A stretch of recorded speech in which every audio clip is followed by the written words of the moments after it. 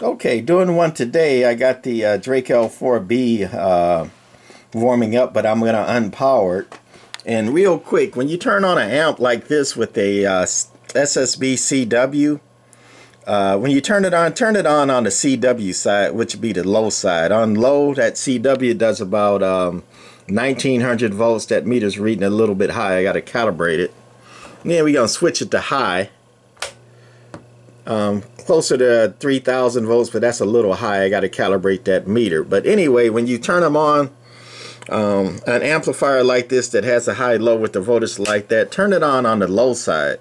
That way the uh, caps are not getting hit with the full charge. That's like a poor man's way of doing a soft start, a slow start. You know, turn it on on low, and then if you want to go to high, turn it on high after you um, you know, let it run for a bit on low. Don't have to be long. It doesn't take long for those uh, caps to charge at all. But anyway, um, right now I know I got 2,000 volts on it. The um, thing is running.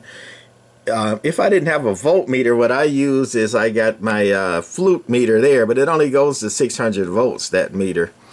But I use this um, voltage probe. This probe uh, goes to 6 kilovolts and it divides the voltage uh, that it sees. It's got a resistor network in there by a thousand. So um, for every thousand volts this reads, it'll read one on the meter with that resistor network in there. And then, you know, it's got that long insulated tip, um, you know, six inches of insulation. So safety factor, in my hand is safely back here.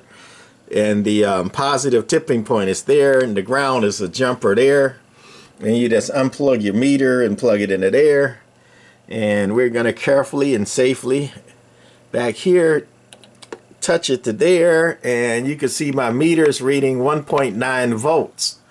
That's times a thousand. 1.9 volts times a thousand is 1.9 kilovolts which is um, close to what that um, meter is reading there on the amplifier. Um, so anyway, I said I'm not going to be long. This one's powering it down. So what I do is um, I turn the amplifier off. And you can see the voltage dropping here. And if you don't have a meter uh, on the amplifier, again, you can get a high voltage probe and uh, your meter.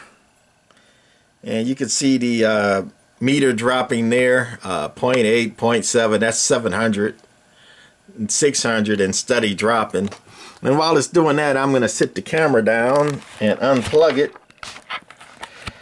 uh, for a double safety thing because um, before I play with amps like this I make sure they're unplugged because even though I got it turned off uh, you know you can you can bump that and hit it and you got your fingers and hands in there, you know, you got it all, so you're comfortable playing with it. Uh, what happens if it's plugged in and you bump that accidentally uh, and you turn it on? Zap, you're dead, right? Um, so anyway, uh, we are waiting for the voltage to go down a little bit more. Uh, we're going to put our probe on it. We're at 0.1. So that's a 100 uh, volt and still going down 70 60 volt and all that. Um, one other thing I do uh, for amps especially that don't have bleeders or have slow bleeders um, especially sweep tube amps. I don't do this on high voltage um, amps. But anyway sweep tube amps this is like a heavy duty bleeder jumper I made. In there's a few uh, resistors that make a high bleed. And um, don't and I connect that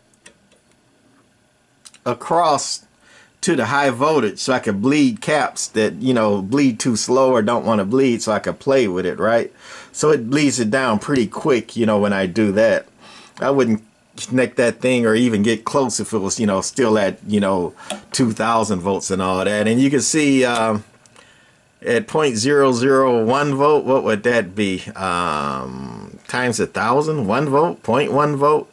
So anyway, I can safely do that. But another thing I do before I start playing in amps for safety and all that is trusty old screwdriver, right? Take that and put it to the high voltage and ground that out. I know um, long time ago I was playing with a John Boy amp on um, location for a uh, buddy of mine and I didn't know a lot about uh, John Boy amps and um, you know I turned it off didn't have a volt uh, a voltmeter on it and I didn't check uh, the voltage either. You know this was a long time ago. Um, you live and learn, right? And I let that thing uh, sit for 10 minutes to decharge, to, char to decharge so the bleeders could hit it. And then I turned around and, and, and started playing with it. Well, actually, I didn't play with it. I was at least smart enough. You know, I thought it was bled. And I got me a trusty screwdriver and I showed it across, you know, like that. And zap, boy, that thing hit. And I'm like, you know, what happened? I waited long enough and I turned that thing over and the John Boy amp didn't have any bleeders in it whatsoever. So I do all that. I test it with my meter now. Uh, make sure it's bled. And also after all this, before I put my fingers in it and play with it, I get a jumper just like this little jumper here and just go across, you know, the high voltage, whether that's underneath or, you know, on top like here. That way, um, sometimes caps do some really funny things. They um, uh, charge they self a little bit sometime. So I put that jumper across, so ain't no uh, recharging on the caps.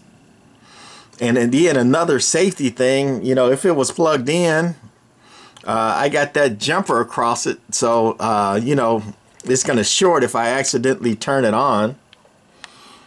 Uh, so just another safety thing that I do. You know, I got the jumper across it. I've tested it. I've discharged it.